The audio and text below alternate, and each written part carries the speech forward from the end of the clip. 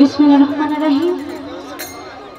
সর্বপ্রথম আমার সৃষ্টিকর্তাকে স্মরণ করে তারপরে হবে আহমদ মুস্তফা, মোহাম্মদ মুস্তফা বাবাজানের পাক রজমগ্রহ কিছুক্ষণ রেখে বিশ্বের অলি আউলা গাছ করতে পয়গাম্বর, যে যেখানে যেভাবে সাজে থাক না কেন, সকলের পাকদল হতে যেমন রেখে আজকে যার দরবারে গান করতে এসেছি।